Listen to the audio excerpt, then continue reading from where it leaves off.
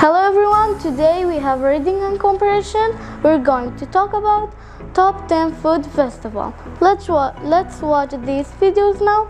Mangoes are an integral part of Indian summers and this festival celebrates that. This is about garlic.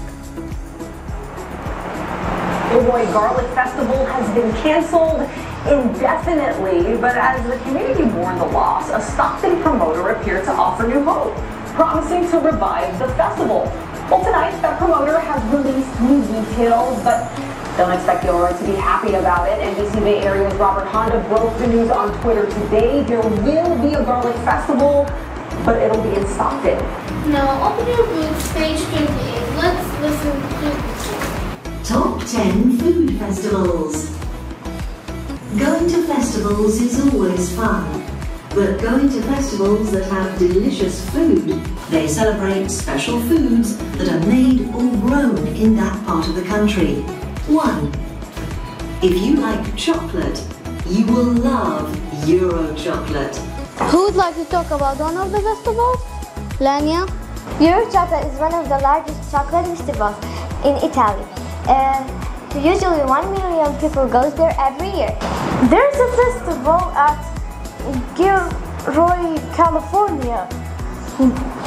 They make uh, dishes with garlic, like garlic ice cream, garlic chips, and more. The Mango Festival takes place in India in Delhi. It lasts for two days and there are more than 500 types of mangoes. Okay, now each group is going to make three questions about festival top 10. Now, group B, what's your question?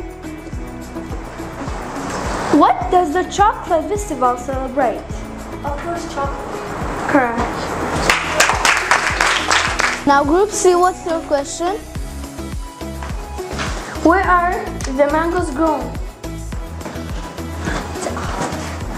In India. Yes, correct. Okay, now group D, what's your question? What are mangoes called in India? Nova. The king of fruits. How many people go to the Euro chocolate? Lania? One million. Right. All millions.